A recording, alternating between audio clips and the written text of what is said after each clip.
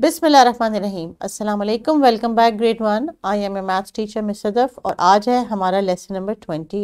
Nine के बाद का नेक्स्ट जो हमने बात की थी कि सेक्शन है?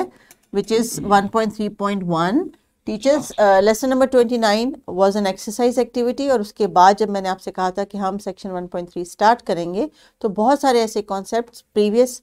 सेक्शन से भी इसमें इंक्लूड होंगे। तो I hope that you have made sure all your students have learn all the S L Os before this section तो आज है हमारा lesson number thirty which is in the continuation for the first unit whole numbers और उसका page यहाँ पे आपके सामने स्क्रीन पे मौजूद है, जो टीचर ने आपके लिए आइडेंटिफाई भी कर दिया होगा। तो डियर टीचर्स एंड स्टूडेंट्स आज का एसएलओ क्या है? यानी आज हम क्या एक्टिविटी करने लगे हैं? We are going to compare two और more groups of objects in terms of numbers आज हम कंपैरिजन करने लगे हैं ग्रुप्स का और फिर उनकी इंटरप्रिटेशन करेंगे हम थ्रू नंबर्स तो देखते हैं कि इससे क्या मुराद है। इससे मुराद ये है कि जब हम पहले चीज़ों को देखेंगे, उनको काउंट करेंगे और फिर वो नंबर देख के बताएँगे या लिख के दिखाएँगे कि ये कौन सा नंबर है। For example look at basket number one this is basket number one and this is basket number two आपको बाहिर देखने में बास्केट नंबर वन में कम ऑब्जेक्ट्स नज़र आ रहे हैं और बास्केट नंबर टू में ज़्यादा ऑब्जेक्ट्स नज़र आ रहे हैं। लेकिन मैथमेटिक्स में हमने हर चीज़ को नंबर्स के साथ रिप्रेजेंट करना होता है और इसी चीज़ को आज हमें अंडरस्टैंड करना है कि हम मोर एंड लेस को जो जेनेरिक अल्फाज इस्तेमाल करते हैं that I have more popcorns and I have less candies तो ये मोर और लेस को नंबर्स के साथ हम कैसे रिप्रेजेंट करते हैं? For another example there are two bunch of roses in front of you एक बंच में ज़्यादा नज़र आ रहे हैं, इसलिए इसके लिए वर्ड इस्तेमाल करेंगे हम मोर और दूसरे बंच में दे आर फ्यू और less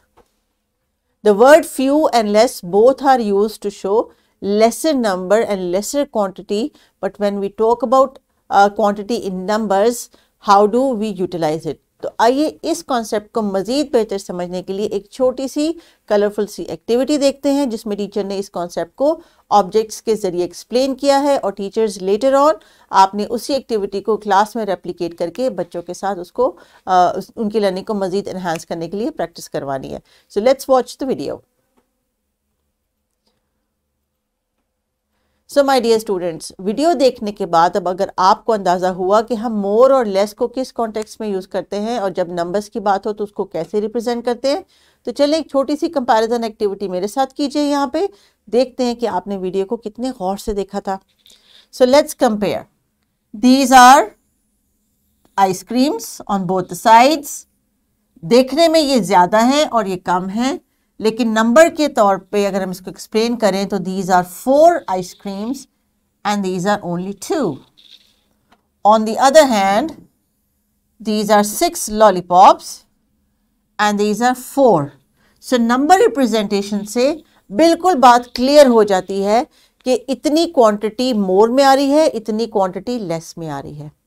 I hope you got the point है। तो आइए अब एक छोटी सी ग्रुप एक्टिविटी करते हैं और इस ग्रुप एक्टिविटी में आपने क्या करना है? आपने जनाब कोशिश करनी है कि अपने फ्रेंड्स के साथ मिलके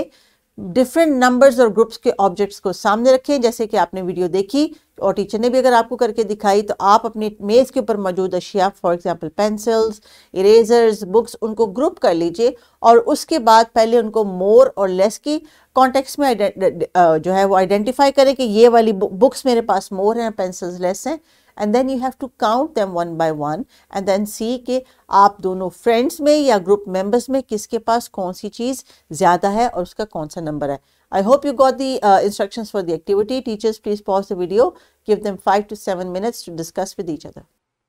yes my dear students I hope कि मोर एंड लेस की जो आपने पिक्चर्स देखी या टीचर ने जो आपको ऑब्जेक्ट्स दिखाए, उससे आपको समझ आ गया होगा। तो अब हम उस मोर एंड लेस के वर्ड को कनेक्ट करेंगे अपने मैथ्स के न्यूमरल के साथ। मेरी इस टेबल के ऊपर आपको कुछ ऑब्जेक्ट्स नज़र आ रहे हैं। These are other toys from my toy shelf अब इसमें मुझे जैसे जैसे जो जो मिला, मैंने उसको यहाँ पे आके एक सेट की शक्ल में इकट्ठा रख दिया। So now you can see they are four cars one two three four so मैंने उसको नंबर से रिप्लेस किया। टू टॉय कार्स छोटी वाली टू के नंबर के साथ। These are six animals so six का flash card these are 13 blocks. 13 का number. And there are three wacky ducks. तो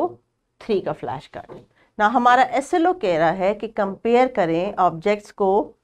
टू और मोर के. तो आप टू का तो आपने बोर्ड पे देखा. अब हम थोड़ा सा मोर को जो है वो एक्सप्लेन कर लेते हैं. जैसे कि three is more than two thirteen is more than six six is more than four but four is less than thirteen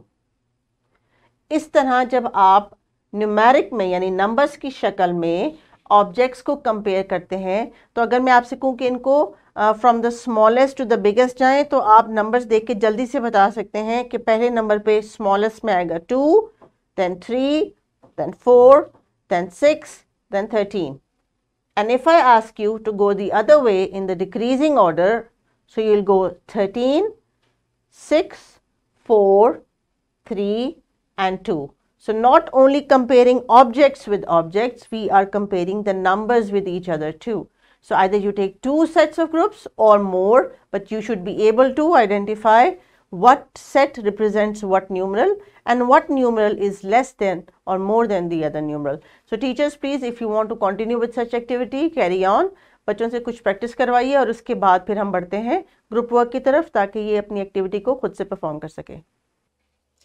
हाँ जी, प्यारे बच्चों ग्रुप एक्टिविटी के बाद अब बारी आती है हमारी उस टास्क की जो हमारी बुक पे है यानी आज बुक का पेज जिससे हमने लेसन स्टार्ट किया था, उसके ऊपर कुछ कलरफुल सी पिक्चर हैं और कुछ टेक्स्ट लिखा हुआ है क्योंकि this is grade one and you can read and most of you want to read so teachers आप बच्चों को असिस्ट करें ड्यूरिंग दिस टाइम कि वो खुद से रीडिंग करें और फिर देख सकें और ख़ुद से कंपैरिजन कर सकें कि जो उनको तस्वीर में मोर एंड लेस की एग्जांपल्स दी गई हैं, उनसे उनको क्या समझ आ रही है। So this is a reading activity and observational activity और इसके लिए टीचर्स आपका बच्चों के साथ बारी बारी उनके टेबल पे जाना ज़रूरी है and then see if they are reading it and then identifying more and less objects in given on the given page so please pause this video and continue with the activity and get back to me after eight to nine minutes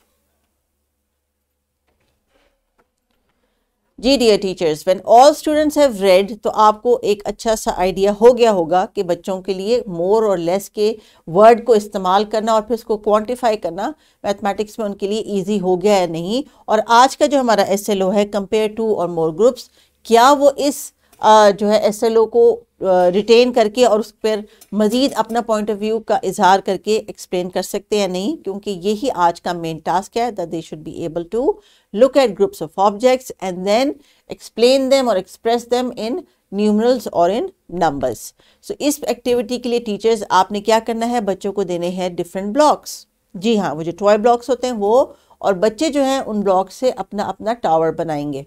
So then they will compare it with each other कि किसका tower has more blocks और किसके tower में है less blocks and they will also quantify it कि मैंने अपने tower को टेन ब्लॉक से बनाया और मैंने अपने टावर को सिक्स ब्लॉक से बनाया So you have to continue with this activity after this lesson is over. So look for your homework worksheet. It is given in the description box below dear teachers. They have to write the number. First they are going to count and then represent it And then compare it and write it in the given worksheet और इसके साथ साथ एक practice की activity जो आपके लिए worksheet available है डिस्क्रिप्शन बॉक्स में, उसको भी टीचर्स आप असेसमेंट के तौर पे यूटिलाइज कर सकते हैं और you can come up with your own idea that would be wonderful so अगले लेसन तक के लिए इन एक्टिविटीज़ को कंप्लीट करें, ऐसे लोग को अंडरस्टैंड करें. We will be back for more take care and अल्लाह हाफिज़